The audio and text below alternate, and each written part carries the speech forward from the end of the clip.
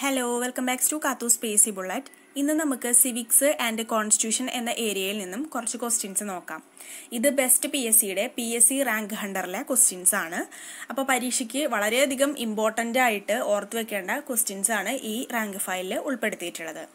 അപ്പോൾ ഞാനിവിടെ ഓപ്ഷൻസ് വായിക്കുന്നില്ല. ആക്യുറേറ്റ് ആയിട്ടുള്ള ആ ആൻസർ മാത്രമാണ് പറഞ്ഞു പോകുന്നത്. അപ്പോൾ വീഡിയോ ലെങ്ത് വളരെയധികം കൂടാണ്ട് നമുക്ക് ക്വസ്റ്റ്യൻസ് ചോദിച്ചു പോവാം.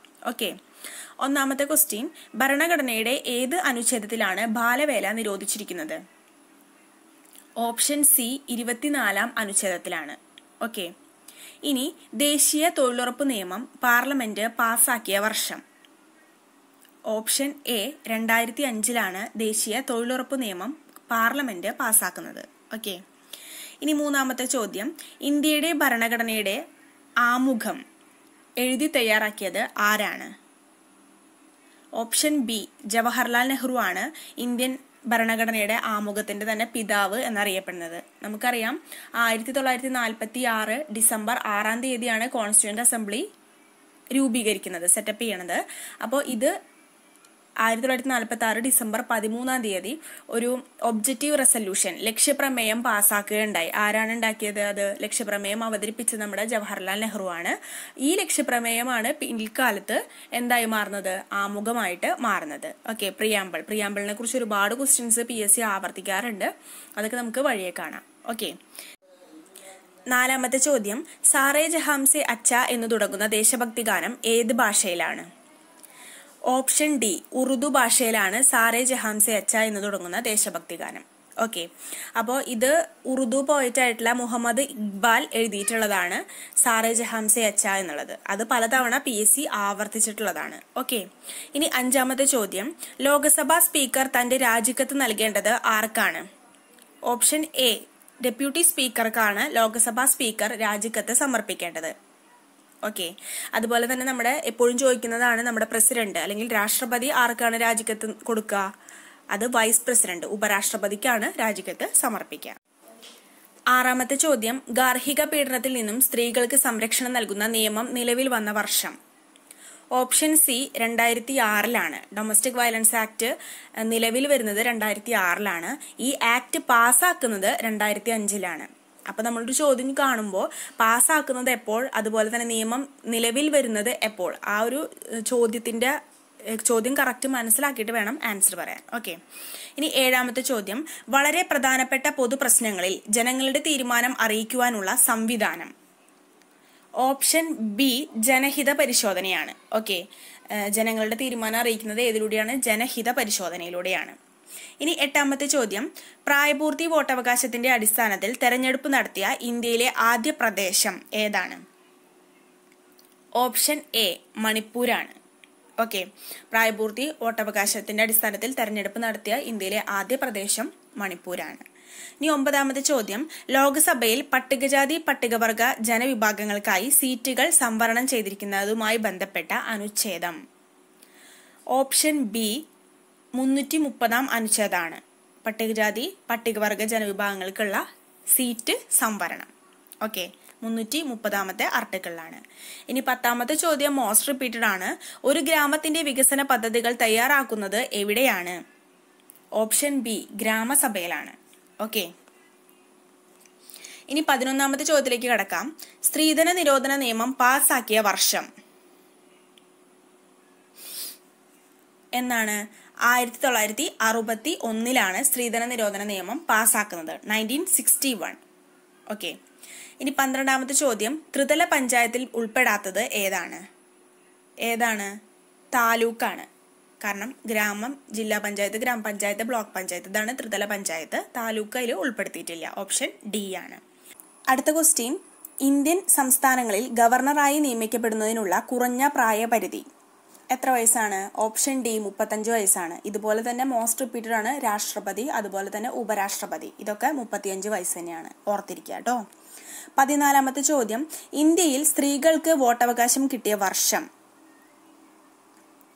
ഓപ്ഷൻ സി ആയിരത്തി തൊള്ളായിരത്തി നാൽപ്പത്തി ഏഴിലാണ് സ്ത്രീകൾക്ക് വോട്ടവകാശം കിട്ടുന്നത് ഇന്ത്യയിൽ ഓക്കെ നമ്മുടെ സ്വാതന്ത്ര്യം കിട്ടിയ വർഷം തന്നെയാണ് സ്ത്രീകൾക്ക് വോട്ടവകാശം ലഭിച്ചതെന്ന് ഓർത്തിരിക്കുക.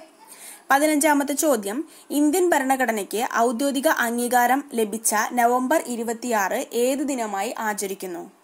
ഏത് ദിനമാണ്?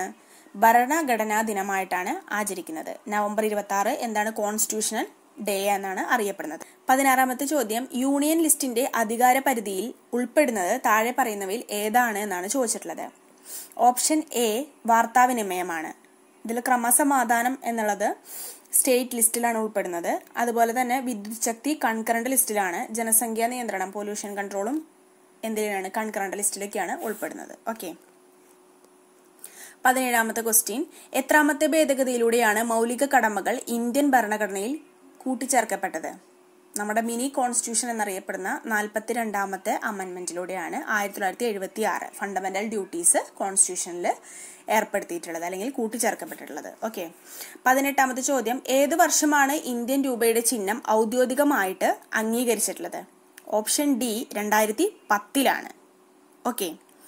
ഇനി പത്തൊമ്പതാമത്തെ ക്വസ്റ്റ്യൻ ഇന്ത്യൻ ഭരണഘടനയുടെ കൺകറന്റ് ലിസ്റ്റിൽ ഉൾപ്പെട്ട ഭരണവിഷയം എന്താണ്? ഏതാണ്?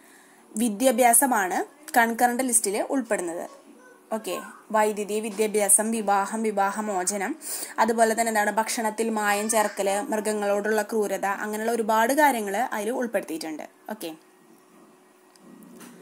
ഇനി ഇരുപതാമത്തെ ചോദ്യം. ആറ് മുതൽ പതിനാല് വയസ്സ് വരെയുള്ള കുട്ടികൾക്ക് നിർബന്ധിതവും സൗജന്യവുമായുള്ള വിദ്യാഭ്യാസം ഉറപ്പ് വരുത്തുന്നുള്ള അനുച്ഛേദം എത്രയാണ്?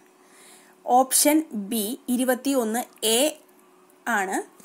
ആറ് മുതൽ പതിനാല് വയസ്സ് വരെയുള്ള കുട്ടികൾക്ക് നിർബന്ധിതവും സൗജന്യവുമായിട്ടുള്ള വിദ്യാഭ്യാസം ഉറപ്പുവരുത്തുന്നതിനുള്ള ഭേദഗതി. ഇരുപത്തി ഒന്ന് എ.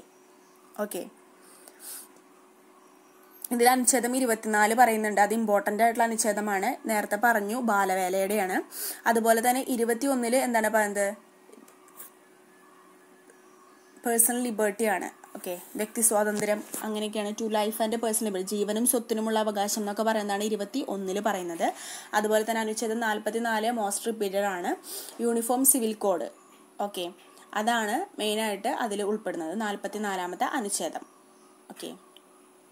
ഇനി ഇരുപത്തി ഒന്ന് ബാങ്കിങ് റെഗുലേഷൻ ആക്ട് നടപ്പിലാക്കിയ വർഷം.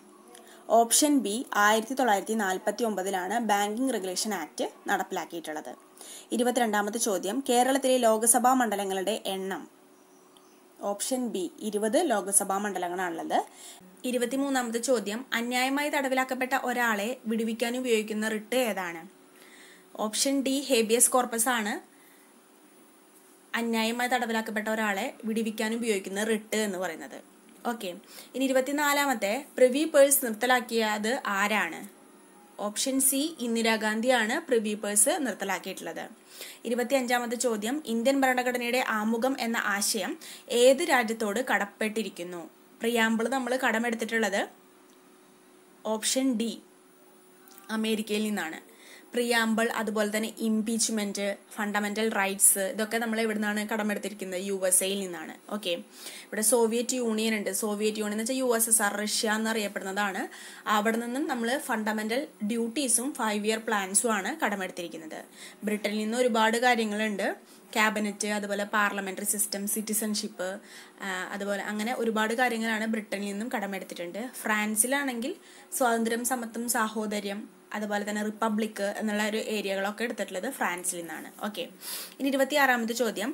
പട്ടികജാതി പട്ടികവർഗ വിഭാഗങ്ങൾക്കെതിരെയുള്ള അതിക്രമം തടയുന്നതിനുള്ള നിയമം എന്ത് പേരിൽ അറിയപ്പെടുന്നു?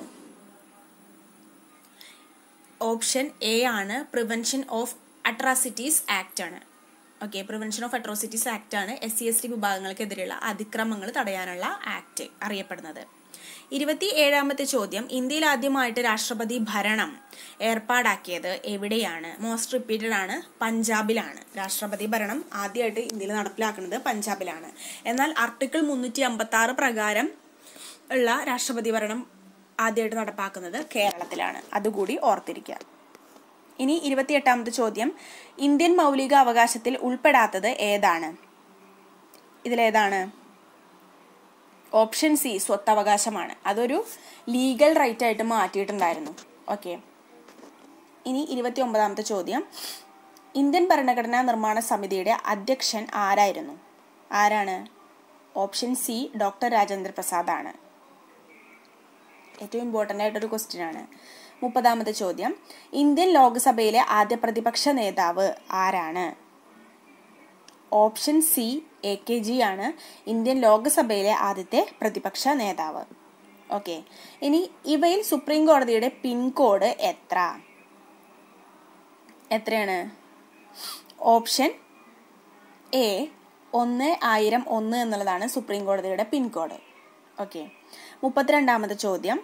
ഇന്ത്യൻ ഭരണഘടന നിലവിൽ വന്ന വർഷം ഓപ്ഷൻ എ ആയിരത്തി തൊള്ളായിരത്തി അമ്പത് ജനുവരി ഇരുപത്തിയാറ്. നമ്മുടെ റിപ്പബ്ലിക് എന്നറിയപ്പെടുന്നത് എന്താണ്? നമ്മുടെ കോൺസ്റ്റിറ്റ്യൂഷൻ നമ്മുടെ ഭരണഘടന നിലവിൽ വന്ന വർഷമാണ്. അത് ഓർത്തിരിക്കാം ഓക്കെ.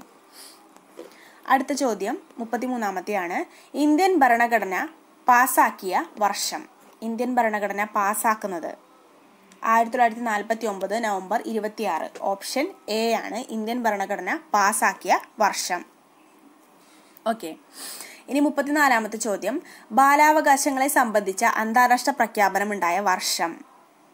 നയന്റീൻ എയ്റ്റി നയനിലാണ് ബാലാവകാശ ആയിട്ട് ബന്ധപ്പെട്ട അന്താരാഷ്ട്ര പ്രഖ്യാപനം നടത്തിയിട്ടുള്ളത് നയന്റീൻ എയ്റ്റി നയനിലാണ് ഇന്ത്യൻ ഭരണഘടനയുടെ ആർട്ടിക്കിൾ ഏത് ആർട്ടിക്കിൾ പ്രകാരമാണ് തൊട്ടുകൂടായ്മ ഇല്ലാതാക്കിയിരിക്കുന്നത്? ഓപ്ഷൻ സി ആർട്ടിക്കിൾ പതിനേഴാണ്. ഓക്കെ. അൺടച്ചബിലിറ്റി നമ്മൾ നിരോധിച്ചിരിക്കുന്നത് ആർട്ടിക്കിൾ പതിനേഴാം പതിനേഴാമത് പ്രകാരമാണ്.